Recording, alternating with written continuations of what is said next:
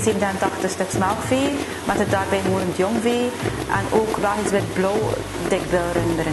In 2011 zijn we beginnen melken in ons nieuwe lichtboxenstal. Daarvoor was het nog in een aanbindstal. Ons celgetal varieerde toen tussen de 200 en de 250. We wilden dat verminderen en ook selectief droogzetten. Daarom zijn we ook in samenwerking gegaan met het Atlo-project. Wat dat ons gebracht heeft, is gezondere koeien, minder kosten qua antibiotica gebruik, minder veejaarskosten, enkele liters melk per dag meer en ook veel meer arbeidsvreugde.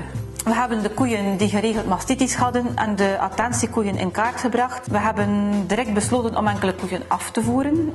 Andere chronische gevallen hebben we bekeken via de NPR, welke dan in aanmerking kwamen om bacteriologisch onderzoek te doen. Afhankelijk van de uitslag van het bacteriologisch onderzoek werd er dan besloten om de koeien aan te houden en te behandelen of op te ruimen. Praktisch hebben we het melken anders aangepakt. Het voorbehandelen deden we vroeger met één papiertje voor Hans de rijkoeien. Nu nemen we één papiertje per dier. Van de attentiekoeien wordt er na het melken de melklauw in heet water gedompeld. En we zijn ook meer aandacht gaan besteden aan het correct gebruik van het dipmiddel. We besteden ook meer aandacht aan het reinigen van de liggeboxen en de roosters. En zo is er na overleg met de dierenarts en met MCC een mestrobot aangeschaft. En we besteden ook meer aandacht aan onze droge koeien. Vroeger zaten ze in een strobox die moeilijk proper te houden was. Nu zitten ze in de liggeboxen.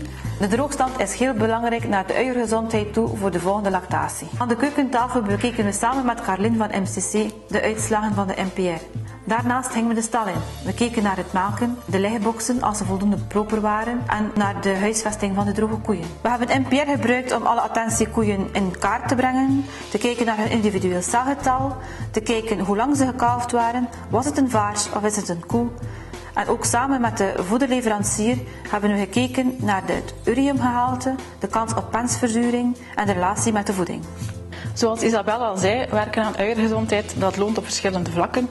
We hebben hetzelfde gezien op de andere bedrijven die meewerkten in het ADLO-project, namelijk een goede uiergezondheid en een heel sterke reductie van het antibioticumgebruik. Zelfs die kritische antibiotica konden we halveren.